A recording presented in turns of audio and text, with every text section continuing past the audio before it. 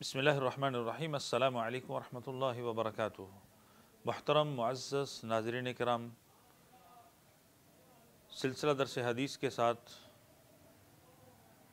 آج کے درس حدیث کا موضوع ہے، وہ نبیوں میں رحمت لقب پانے والا۔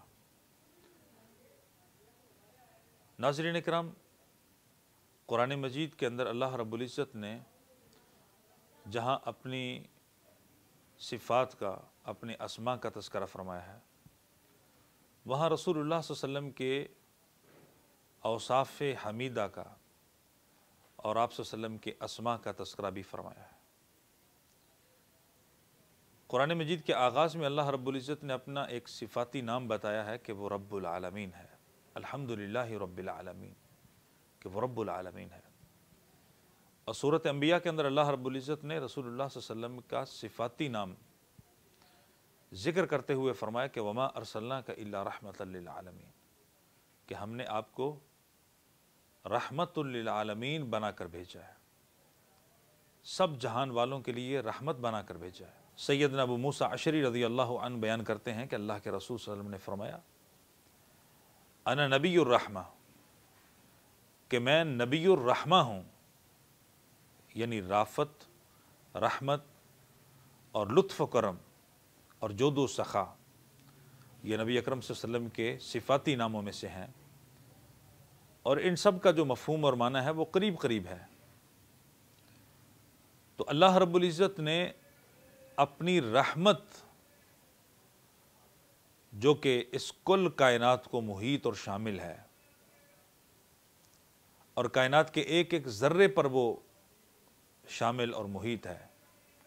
اللہ کی رحمت کائنات کے ایک ایک ذرے پر وہ مشتمل ہے۔ اسی طرح رسول اللہ صلی اللہ علیہ وسلم کو جو رحمت للعالمین بنا کر بھیجا، تو یہ اللہ کی رحمت کا بہت بڑا مظہر ہے۔ یعنی اگر کوئی اللہ کی رحمت کو اس دنیا میں دیکھنا چاہتا ہے، تو وہ رسول اللہ صلی اللہ علیہ وسلم کی رحمت کو دیکھ لے۔ عام طور پہ کہا جاتا ہے کہ اللہ کی رحمت کے دو مظہر ہیں۔ اللہ کی رحمت کے اگر کوئی مشاہدہ کرنا چاہتا ہے تو وہ دو بڑی محبتیں ہیں، دو بڑی رحمتیں ہیں۔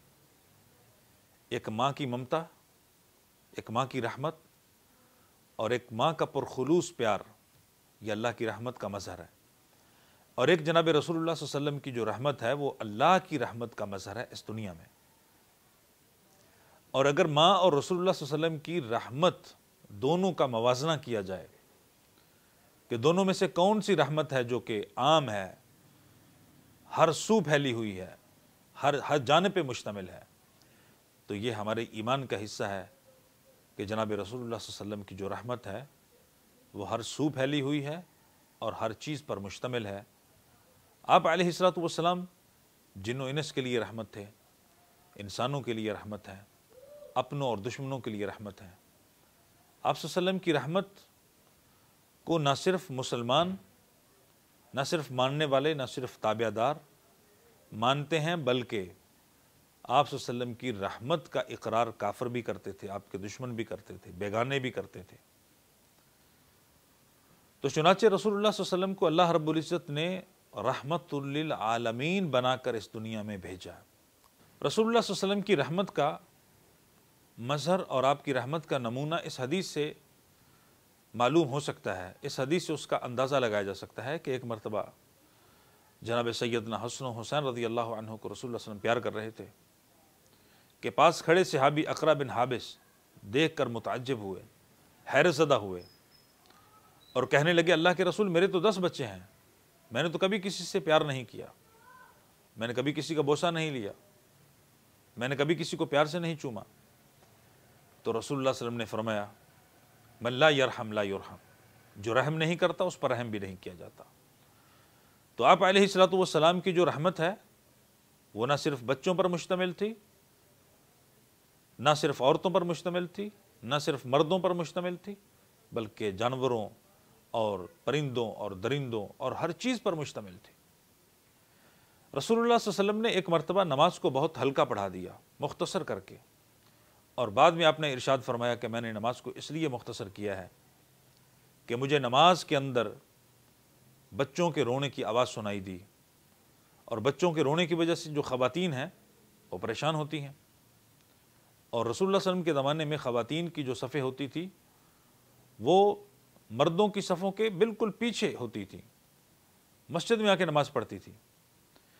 تو رسول اللہ علیہ وسلم نے آپ کی رحمت کا یہ عالم ہے کہ آپ نے نماز کو مختصر کر دیا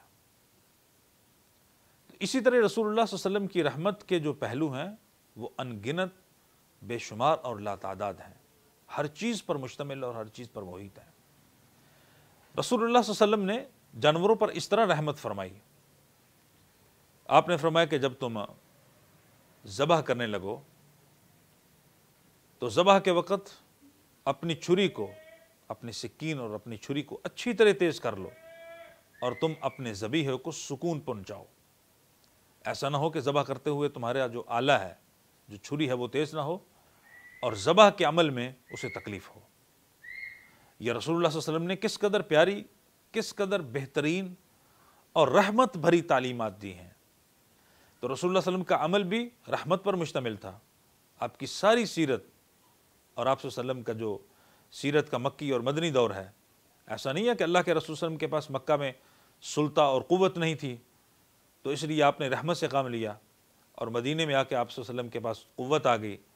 آپ حاکم بن گئے۔ آپ نبی اور رسول ہونے کے ساتھ ساتھ ایک بادشاہ بن گئے، ایک حاکم بن گئے۔ تو آپ صلی اللہ علیہ وسلم نے آپ کی رحمت جو ہے وہ ختم ہوگی؟ نہیں، بلکہ آپ صلی اللہ علیہ وسلم کی رحمت میں اضافہ ہوا۔ قیدیوں کے ساتھ آپ کی رحمت۔ غیر مسلموں کے ساتھ آپ کی رحمت، اسلام کی دعوت دینے میں آپ کی رحمت۔ رحمت کے دنیاوی ان تمام پہلوؤں کو کائنات والوں نے دیکھا، اہل دنیا نے دیکھا۔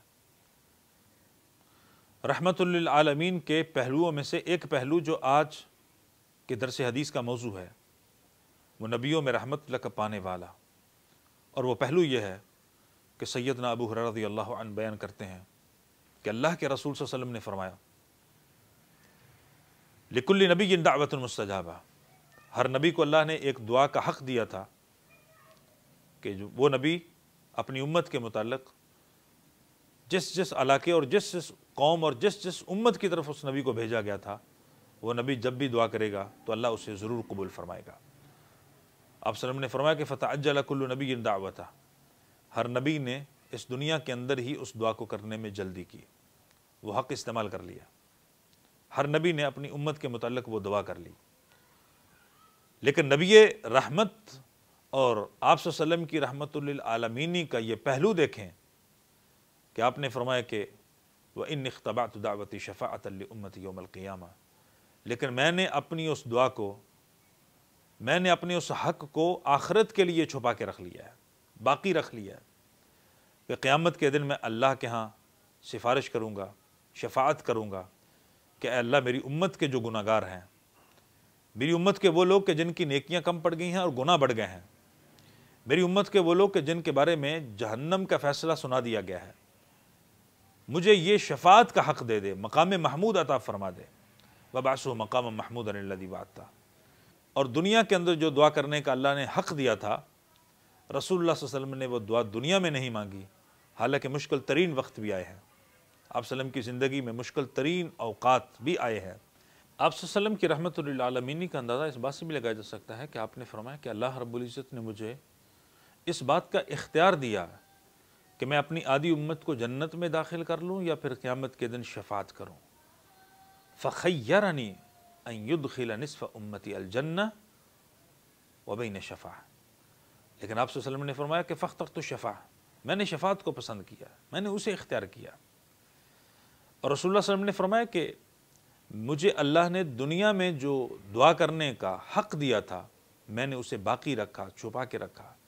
اور یہی دعا یعنی شفاعت کی شکل میں، سفارش کی شکل میں، مقام محمود کی شکل میں، امت کے جو گناہ گار لوگ ہیں، ان کے حق میں اللہ رب العزت کے ہاں قیامت کے دن رسول اللہ صلی اللہ علیہ وسلم فرمائیں گے۔ یہ آپ صلی اللہ علیہ وسلم کی رحمت للعالمینی نہ صرف دنیا پر، اہل دنیا پر، اور نہ صرف دنیا تک ہی محدود ہے، بلکہ آپ صلی اللہ علیہ وسلم کی رحمت للعالمینی کا اندازہ اور حد اس بات سے بھی معلوم کی جا سکتی ہے کہ آپ قیامت کے دن بھی اپنی امت کے حق میں کس قدر رحمت ہوں گے اور کس قدر جو ہے وہ آپ اپنی امت کے متعلق فکر مند ہوں گے۔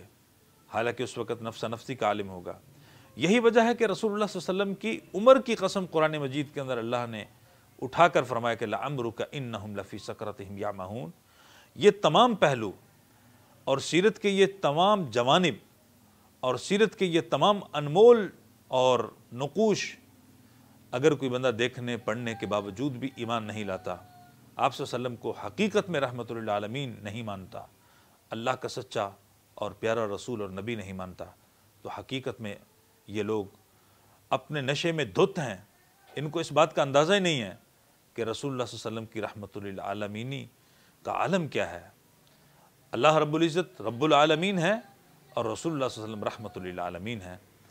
اللہ رب العزت نے قرآن مجید میں ایک دوسرے مقام پر رسول اللہ صلی اللہ علیہ وسلم کی زندگی کو، آپ کی سیرت کو سند قرار دیتے ہوئے فرمایا کہ فقد لبس فیکم عمر من قبل ہی افلا تعقلون؟